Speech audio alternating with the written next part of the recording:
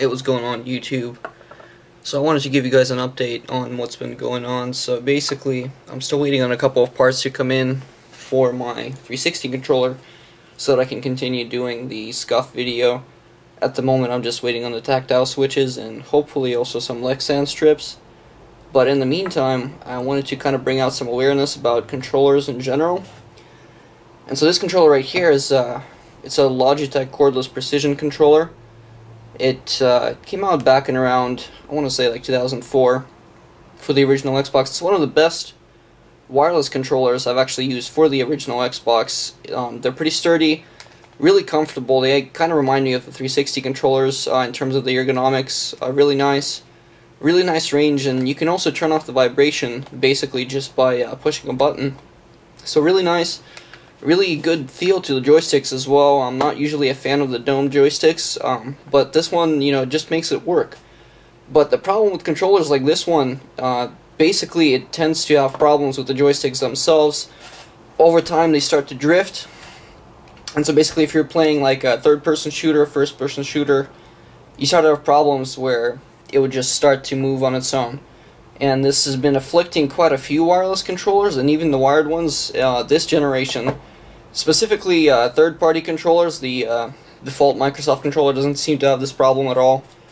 But this guy right here, and I believe the Razer Onza Tournament Edition, which I got to try, a friend of mine had one, uh, started to have the same problem. And there's a lot of fixes that people do on these. Uh, people have tried different rubber band tricks and things like that. But ultimately what I found is a lot of times uh, people just end up replacing the whole joystick mechanism that's in the controller. And that's, uh, I mean, it runs pretty costly if you start to get to do a lot of those, if you've got a lot of controllers that are dying on you.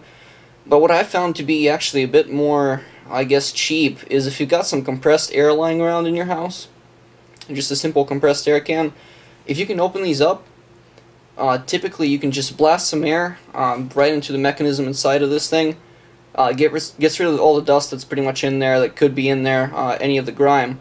And then what you can do is you can take one of these uh, machine oil uh, things. I don't know what you'd uh, what you'd get it from because this actually came with my shaver I never oiled the damn thing, that's probably why it broke on me. But I just put like maybe a drop or two into the mechanism itself, and I just sort of moved the joystick around. And I let it, uh, I put the controller back together and I just let it sit for about a day, and it was working just fine. The next day, uh, no more drift on the sticks. It just pretty much fixed uh, any of those problems. And I ended up doing the same thing to my friend's uh, Razer Onza, and that actually fixed his uh, sticks as well. So the problem was basically that uh, the parts, they they get worn down over time and they start to have metal fatigue, but the oil actually helps uh, lubricate them so they move around a little bit easier, and that uh, that ultimately helps the controller perform at its optimum. Now, um, the other thing about these controllers is that sometimes, and this will happen over time, the manufacturers will actually put out like a little disclaimer that tells you what to do if uh, if you have these problems. So for this controller in particular, I'm going to put a link in the description that's going to tell you guys how um, how you can actually re-zero the sticks.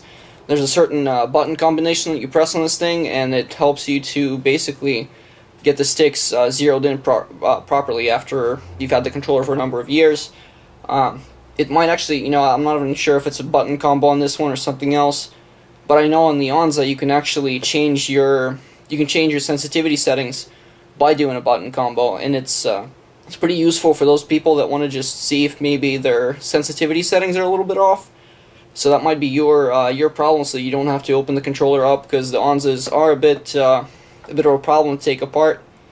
Uh, you know, there's a lot more parts. Uh, it's a lot trickier than the 360 controllers that are OEM. You know, the stock Microsoft controllers. But as it stands, that's uh, that's basically all the information I wanted to give you guys. So you get a little bit uh, more knowledge about how you can fix a possibly dying controller. it doesn't seem like there's a lot of information on this out there on the web. not too many people mentioning this. I believe I actually found this fix uh, in one of the comments that I was uh, looking at while helping my friend fix his Onza, but uh, that's the idea. So you want to get some machine oil, again, just uh, any oil will work, preferably something that works for any sort of uh, gearing systems, so something for your bike, just so long as it's fairly liquid. You don't want to get like um, a lithium grease or anything like that. Uh, you don't want grease around your controller in general, but um, pretty much any oil that's uh, meant for machines will work just fine, and it should get you up and running. So hopefully that helps uh, those of you out that have been having controller problems, and uh, I'll see you guys in my next video whenever I get around to doing the scuff controller.